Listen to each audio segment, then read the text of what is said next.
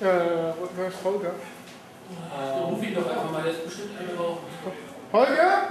Das neue Band hattest du schon rein? Ja, das neue Band ist drin. Ähm, werden eigentlich die Videos? Ja? Holger, ähm, ich habe ähm, da auf dem Server geschaut, den du angeschrieben hast, also in der Flugarkiste. Ähm, Also die da auf der Ja. Tafel. äh, das sind ja jetzt 350 MB. Dann macht ihr das Post-Processing, damit es nicht mehr 350 MB sind. Ich gucke mir jetzt diesen Talk nicht an, um mich genau mit solchen Fragen gerade mal kurz zu beschäftigen. Okay. Ich würde das Aber der Ton ist sehr einfach. dieses Wochenende machen, damit ich nicht meinen Backlog noch größer Wir wird. sprechen den Ton, den Ton alles komplett nach. Ja, synchronisieren wir. Hast du die Mail geschickt? Hast du die Mail geschickt? Meeting abhalten. Das hat aber einen Vorteil, also das kommt die am Meier nicht mehr. Oh. Ihr sterben, wenn ihr das macht. Nochmal, nochmal. Oh. Das tut mir jetzt so gut. Wenn das wieder auf Planet landet. Ich sag euch, es gibt Leichen. Ja, allerdings. Dann machen wir weiter. Okay. So, hello everybody. I'm going to, ist gut. Das ist klar.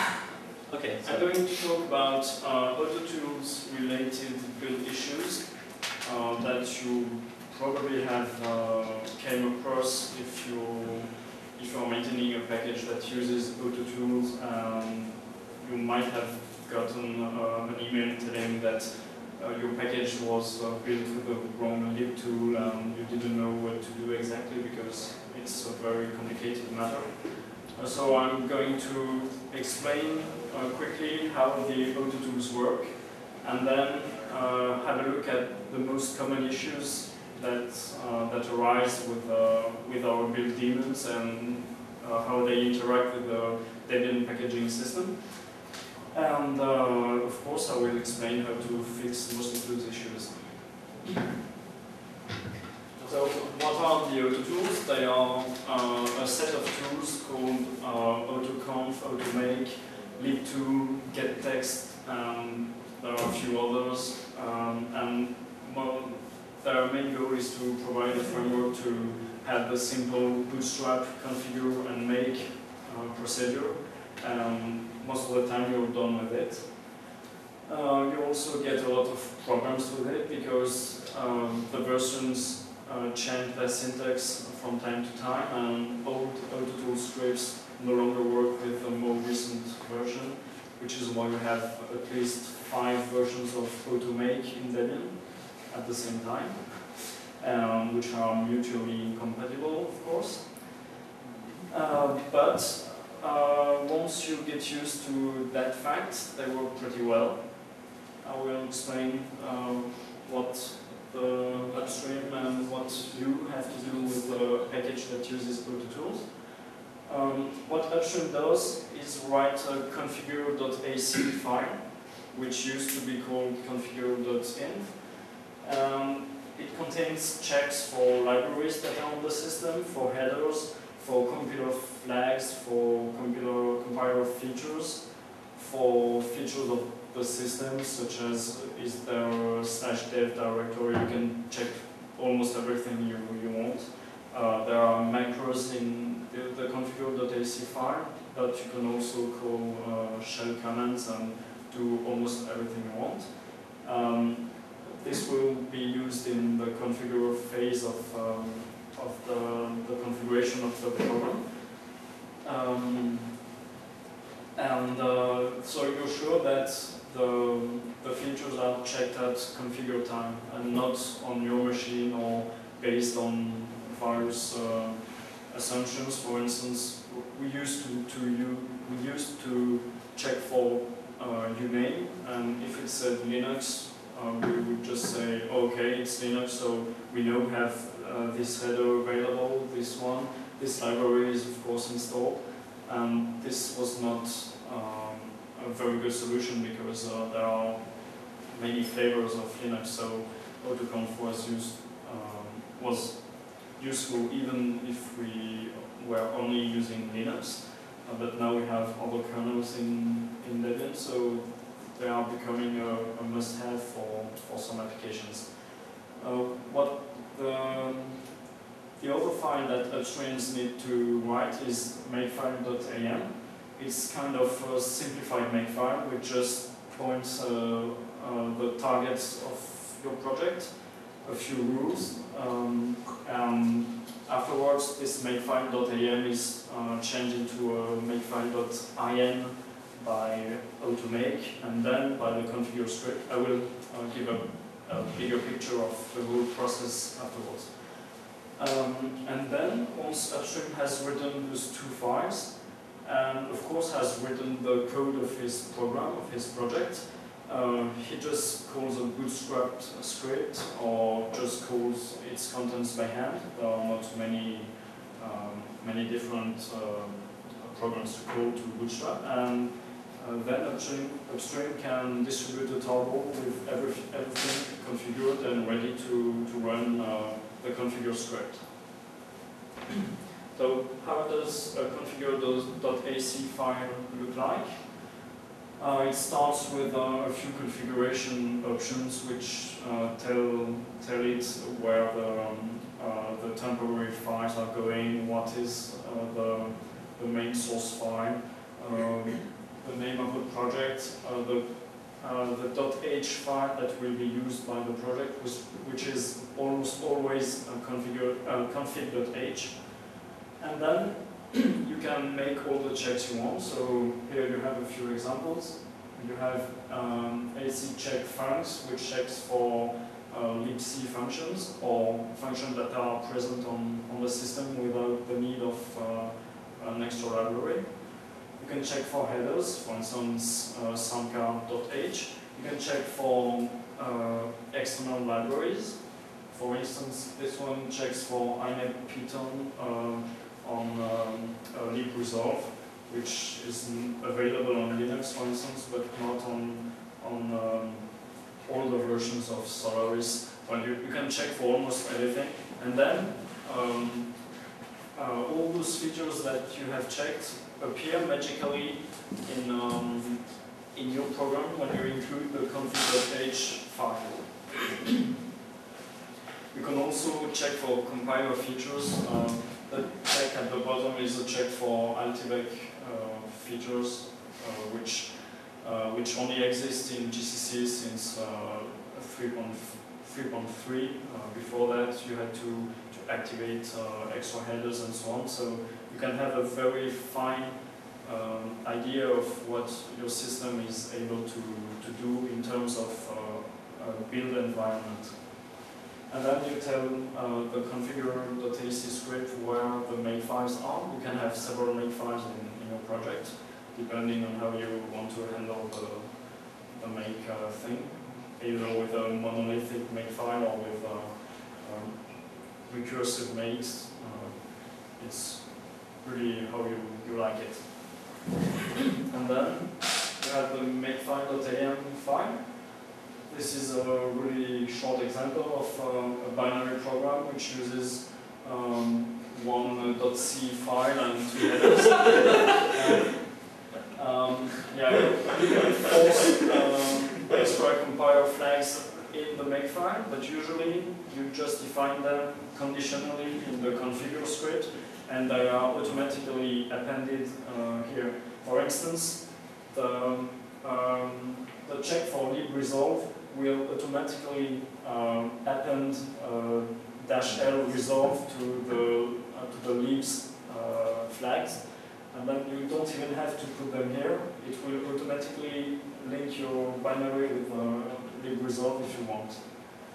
And so that's pretty simple um, makefile.am. You don't have to learn anything on how to call GCC, how to call the linker on uh, different platforms, uh, whether the, the binary should have a .exe um, suffix like on Windows and so on. Uh, everything is handled for you and you just uh, run make and you can run make clean and so on everything is done magically. Um, so that's the simple uh, picture. Um, oh, here's uh, an example of main.c. So at the beginning you include your config.h file, which was generated by the configure script. And then you can check for features with, uh, with if-def.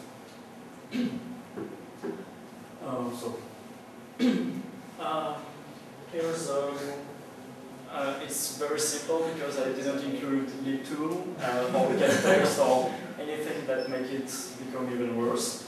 But that's the, um, the process of, um, of uh, bootstrapping your source after you have written.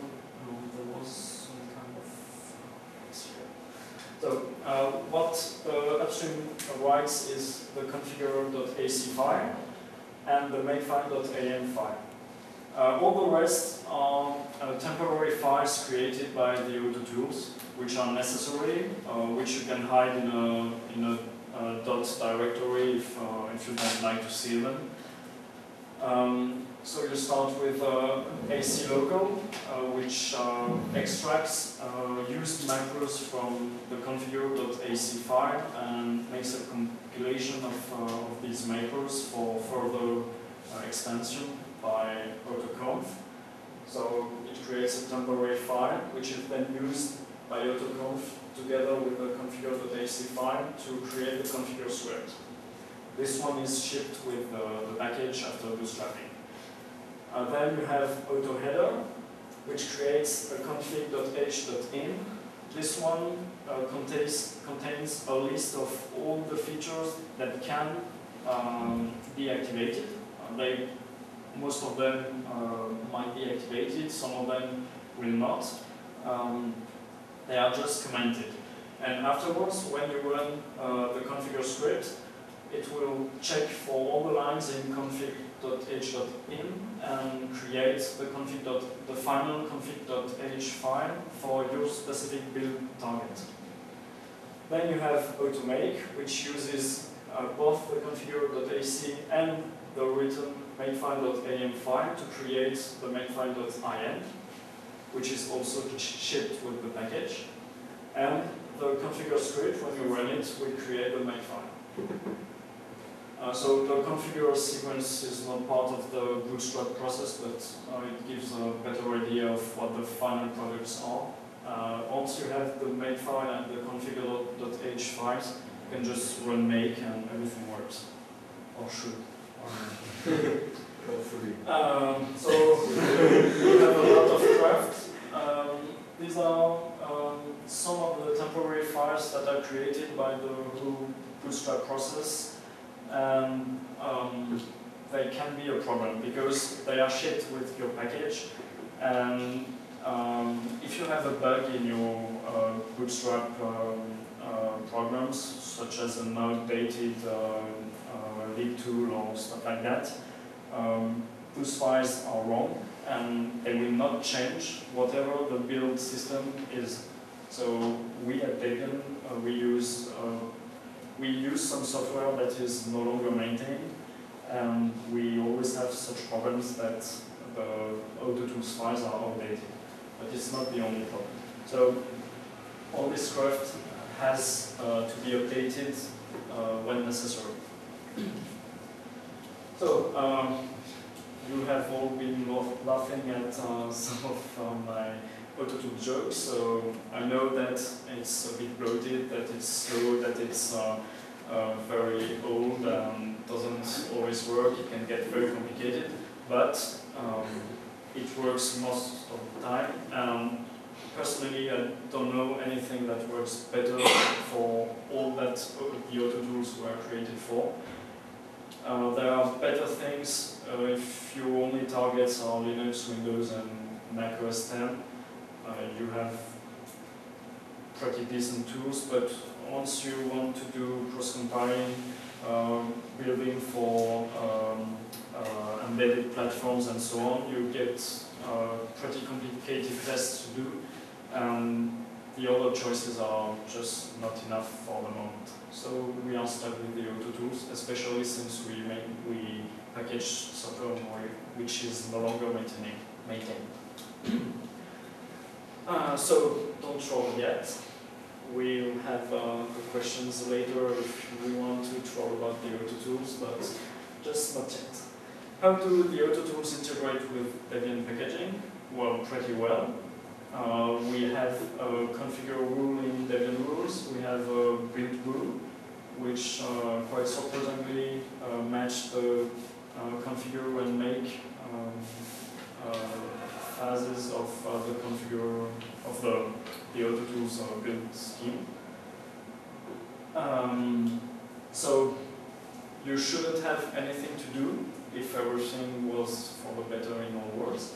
But uh, as I already stated, we have a few problems with outdated tools and buggy tools and tools that are not exactly the original libtool, uh, which are the Gentoo libtool and if upstream doesn't use Debian, you have even incompatibilities with the same versions of the autotools, so you, you get problems at one moment.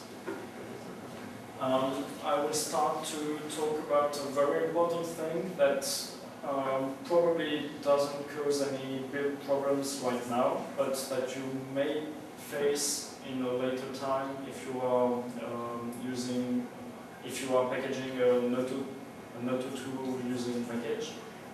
Um, because uh, you shouldn't call configure from your Debian rules script without any arguments.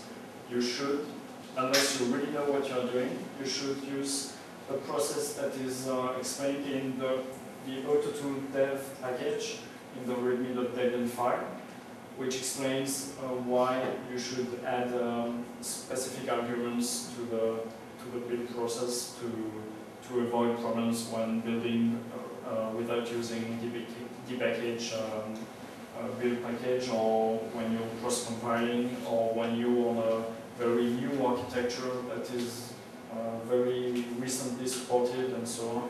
So what you have to do is uh, add this code to, to your uh, Debian rules file, which calls the package architecture to check for the build system and the target system. Um, and you will be safe if you do what this file does. So remember it. Uh, if, if you only read one file about the auto tools, uh, read this one because it gives a lot of best practices for uh, package maintainers, how to fix issues that I will not cover in this talk because we don't have much time. But it's really a must read for, for every developer, in fact. So, as I said, even a very uh, carefully um, bootstrap package can have problems because if it was bootstrapped five years ago, it's, it didn't know about uh, today's architectures such as uh, AMD 64 or uh, the, our kFreeBSD uh, port and so on.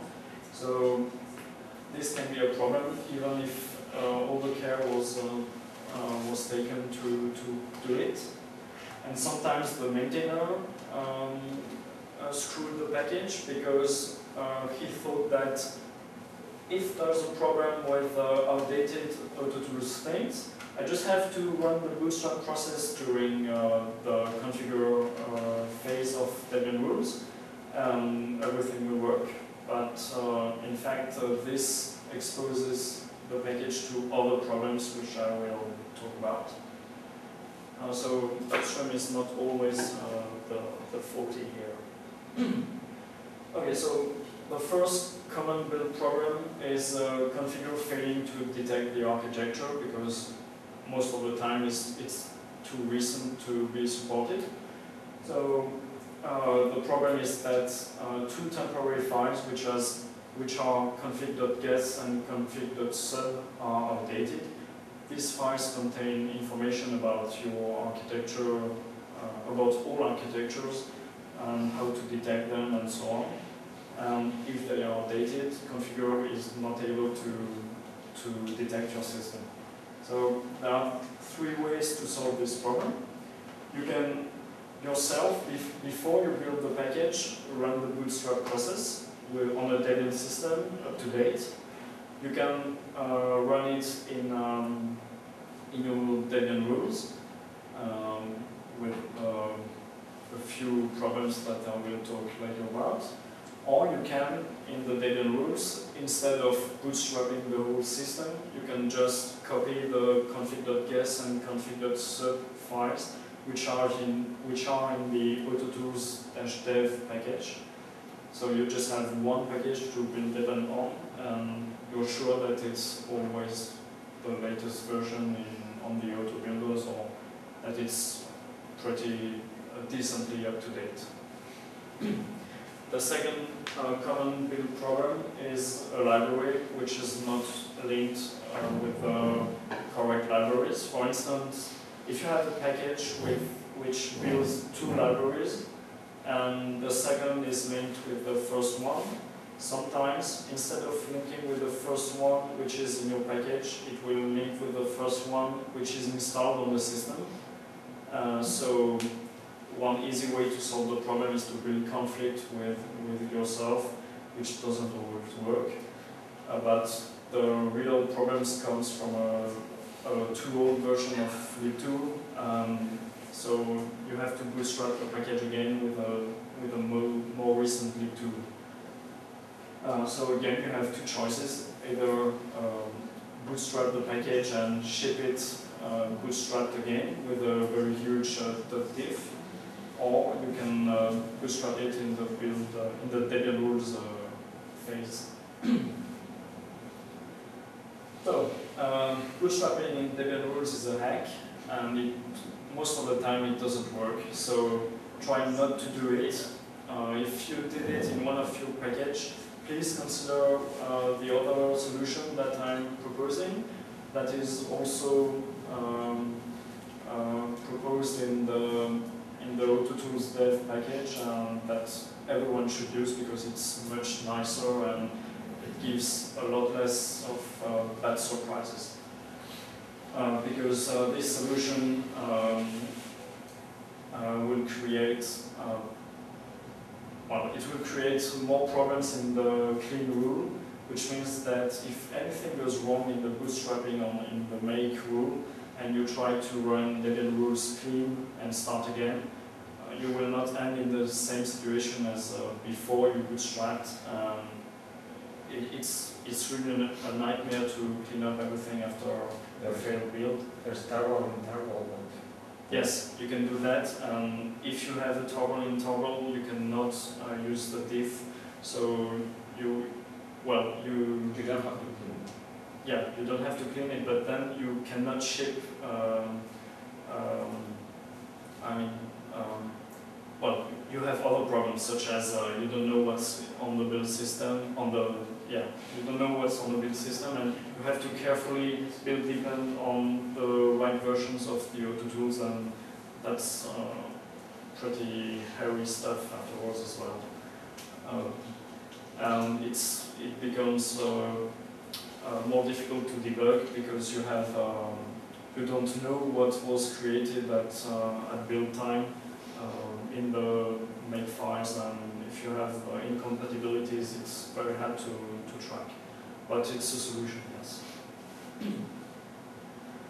So um, the recommended solution by the the AutoTools maintainer and by who, who has uh, spent a lot of time fixing these problems is uh, simply to bootstrap uh, in your build tree and ship the huge diff.gz uh, with your package. So it's big, but uh, it's, it gives you um, less bad surprises afterwards. Um, so uh, I already said what was worth saying here. Um, it's very important to know how to properly bootstrap because there is a, an order in which uh, programs have to be called. You have to first run libtoolize, then autoconf and um, autoheader. Uh, no, then aclocal, sorry, then autoconf. it's very, uh, very easy to get it wrong and then uh, it, it works well on your package, but then uh, you ship it to the auto builder and the build fails uh, because of timestamp issues and so on. You have to be very careful with what versions of the auto tools you run. You cannot just run uh, aclocal or automake. You have to watch.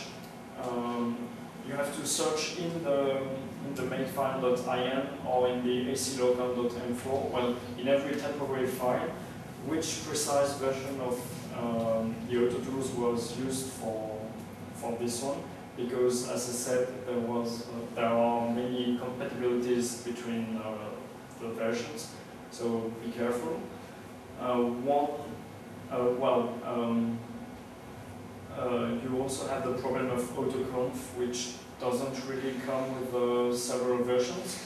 Instead, you have a, a front-end autoconf binary which checks for features requested in your configure.ac file and then uh, calls the correct version of autoconf.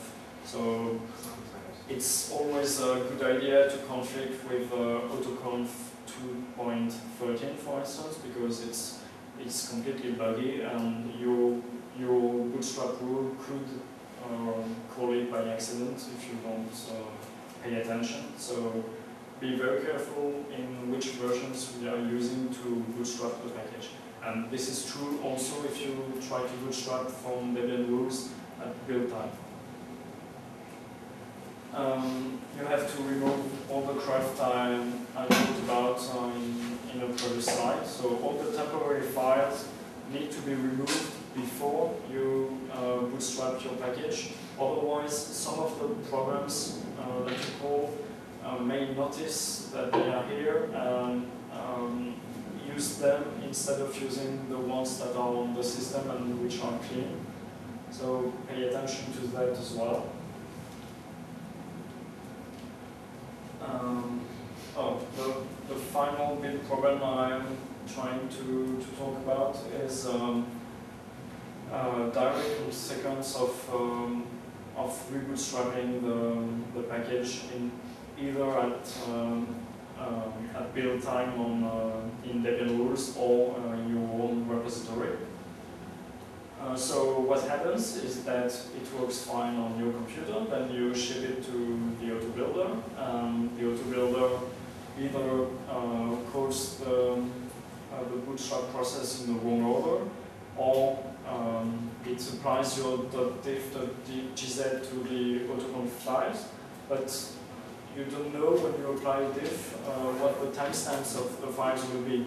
So if an autoconf file is, um, is fixed after a node to make file, for instance, since automake has to be called afterwards, it will notice that uh, one file is, um, is more recent than the other and it will try uh, automatically to, to launch the whole uh, bootstrap procedure itself and of course it will get it wrong because uh, it doesn't know about uh, alternative uh, versions of every software that can be found in Debian. So you have this problem as well. There are again three possibilities to fix that problem, which is fixing the timestamps, rebootstrapping, uh, no, build depending on the right versions of every program so that the reboots, the automatic rebootstrapping works.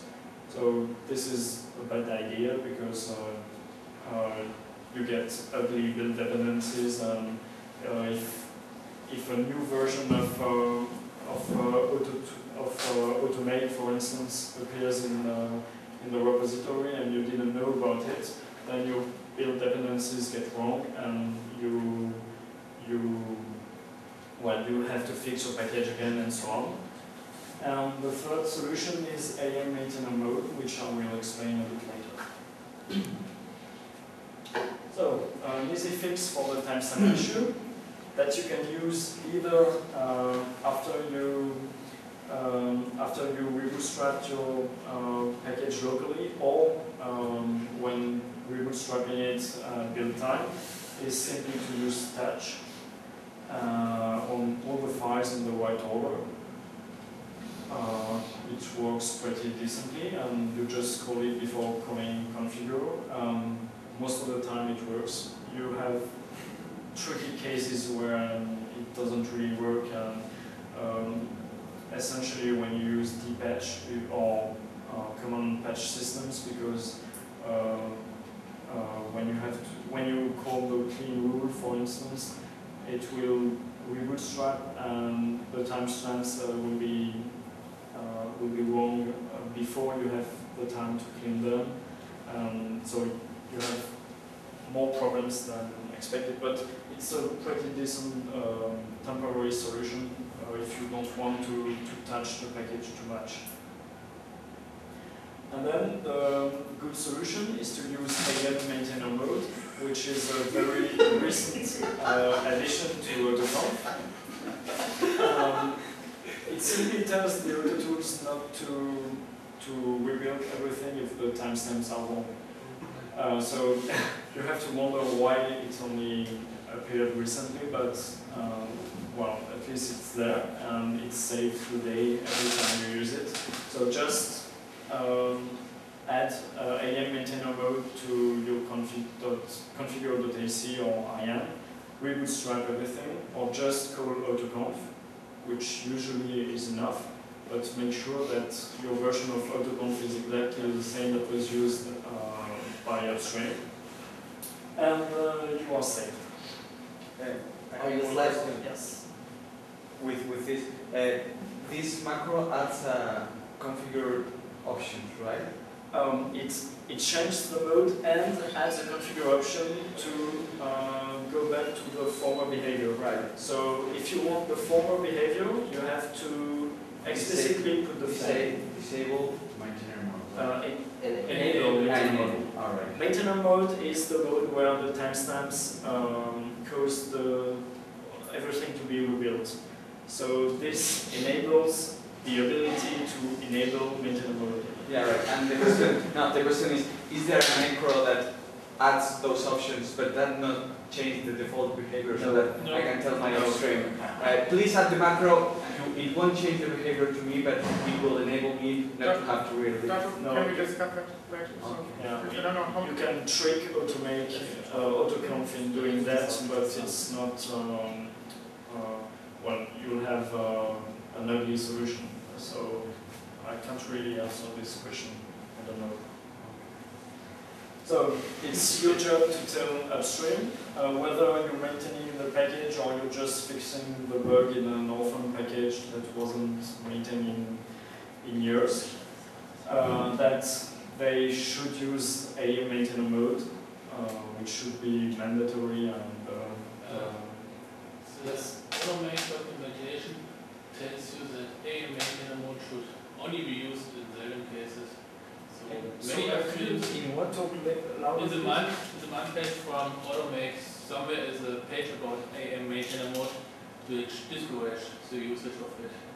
Oh, I Which have, gets upstream to deny using it. I had that with a few upstreams lately. They don't want to change because the info page about the maintainer mode doesn't say you should use it. But it's Only- new documentation, it's frozen. Yeah, but you can- It's an yeah, info well, page. I, I It's haven't broken, read about. Um, did it give specific uh, reasons for not using it? because it was in that mark page from the automake tools, do not use it if you don't have a special need for it. Okay, I don't but use we have a a special need There's a special it. need. Yes, the special need is the sanity in the scripts, uh, but send it to upstream if mark Okay, page but it's it's uh, lesser evil because um, the auto tools are really broken with that regard because they don't know about concurrent versions uh, installed uh, on the system. The auto tools simply assume that uh, they are the, the most recent uh, version and that they have no bugs and so on. Um, if that were the case, we wouldn't need um, this mode, but unfortunately, uh, we need we need them. So um, if they don't agree to use AM maintainer mode, at least you can convince them uh, of using uh, more recent auto tools to bootstrap that package. Because if they do so, you will not have to patch anything. Uh, the the build the build daemons will probably um, build the packages, and so you won't have all the problems that you had before. But uh, they may occur later. Um, but they will, well, you, you will have less problems if uh, they use the uh, proper auto-tool versions. So you should just patch the info page at least uh, the upstream uses uh, Debian. I mean, it's, it's free software, so you can patch it. Know? Probably didn't write section. So that's all. So troll uh, about anything uh, I just said, please do so. So there is no way to have AM maintainer mode and have it enabled by default. So in my demo rules, I can Right, just you can- I will- Well, you can do it by uh, looking at how the macro expands and uh, simply activate the relevant uh, flags in uh, before it. For I, I don't know uh, what's in this macro, but you have um, uh, AM underscore something uh, variables that that say whether the user uh, activated that flag or not, and you can just uh, set this share variable before. But if in the future uh, the macro changes, uh, it will not work any longer. So it's it's ugly, but if you really need it and really need AM maintenance mode at the same time, So it's it, a decent solution. It could be a valid whis- wishlist bug for a Spring to add a, an argument for the macro that you can Yeah, say enable set the default uh, behavior. Yeah. Or, or just let the standard configure have a disable maintainer mode option. So that Yeah, that's, that's always that's both the options. You could just Yeah, but um, the, the rationale um, behind this is that users forget to use that flag and uh, they get stuck by the bootstrap process which requires them to, to, to install autoconf and automake and so on. So the end users who uh, compiles their software are stuck with this. Uh, whereas the maintainer, of the upstream developers know about it and they, they know how to explicitly activate this, uh, um, this option. So it's easier to have, this, to have it this way because you get less requests from your users who don't understand what's going on. Uh, I think it was kind of a compromise between the AutoTools developers and upstreams who, who didn't want to uh, to get email from their users about uh, the yeah, it's, it's true. I would leave the default as it is, but just have the configure script have an option that lets me Yeah, it has disable this option, but uh, but we're talking about that uh, the that uh, you can't you can't set uh, currently uh, when you use AM maintainer mode you can't set the default to on or off. So the default is fixed, and that's the current problem we're discussing. Yeah. The Uh, default is what Debian wants and it's not what upstream going Yes, and wants. what's good for the users as well. Yeah. Yeah, but, but if upstream doesn't like it, he, he won't add it. So you want him to be able to specify his Yeah, I have no clear argument to convince Upstream to use it. Right. Uh, Could we just patch Debian's version of, auto, of the auto tools? I mean, it's But like uh, does, that doesn't it's changing the default The to Upstream- work better for distribution stuff. Upstream doesn't use uh, Debian anyway. So Yeah, so they don't care. I mean, No, no, that's no, us. But uh, uh, for Debian, for Debian, uh, the using AM maintenance mode without any argument is the proper way. Sorry, uh, there was Uh, Um, confused. the, the, the problem is that uh, the, uh, in, in most cases, uh, upstream generates the file. So upstream already has bootstrapped it, so he, the, the Yeah, yeah. Debian version never gets into the process. Yeah, right, right. Bootstrapping Yeah. because Yeah. it's not in Debian systems, right? Yeah, Sorry. in most cases. There were- I hate it. It's Any other questions? Okay, so I Uh, I have one. Where did you get the pictures? Which ones? Oh, all All, the, all uh, the funny ones. uh, this one I, uh, most of them I looked on Google Images. I think Okay. I, uh, this one was probably a search for battle. Uh, the previous one I found it on Wikipedia. It's uh, Yeah. uh, Uncle Sam. Yeah. Um, This one. Well, did you this one is called the Hey Hey Guy. It's um, it's um, a, a trend on, on internet forums to, to doctor this image and have it say anything you like. Um, So where can we find your slides? um, I don't know yet.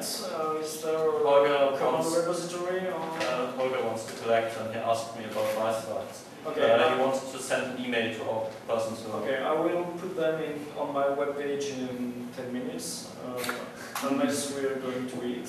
No? Um, No. The, the, the, the knowledge will go to Okay, direct so- library. Okay, so I will put them on my webpage. It's uh, sam.zoy.org, or you can search for my name on Google and you'll find it. Uh, there's a lecture uh, menu on the left. Or do the same and probably blog about it so that uh, we can find the URL,